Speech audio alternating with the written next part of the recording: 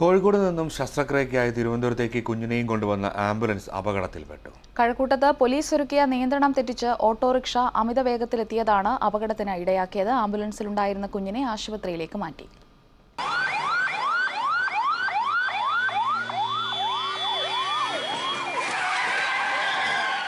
രണ്ട് ദിവസം പ്രായമായ ആൺകുഞ്ഞിനെ ഹൃദയ ശസ്ത്രക്രിയയ്ക്കായാണ് തിരുവനന്തപുരത്തേക്ക് എത്തിച്ചത്. കോഴിക്കോട് മുതൽ ആംബുലൻസ് വരുന്ന വഴികളെല്ലാം പോലീസ് നിയന്ത്രണങ്ങൾ ഏർപ്പെടുത്തിയിരുന്നു. കഴക്കൂട്ടത്ത് അപ്രതീക്ഷിതമായാണ് ഓട്ടോ അമിത വേഗതയിലെത്തി ആംബുലൻസിനെ ഇടിച്ചത് ആംബുലൻസിനുണ്ടായിരുന്ന കുഞ്ഞിന് അപകടമൊന്നും പറ്റിയില്ല. ഓട്ടോ ഡ്രൈവർ അരുണിനെ കഴക്കൂട്ടം പോലീസ് കസ്റ്റഡിയിലെടുത്തു.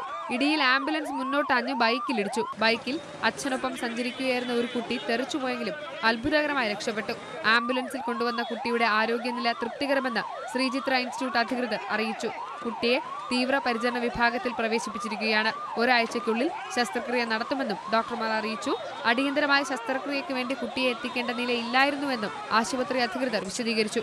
കോഴിക്കോട് സ്വദേശികളായ സുലൈമാന്റെയും റംല ബീഗത്തിന്റെയും ആൺകുഞ്ഞാണ് ചികിത്സയിലുള്ളത്. ഏഷ്യാനെറ്റ് ന്യൂസ് തിരുവനന്തപുരം.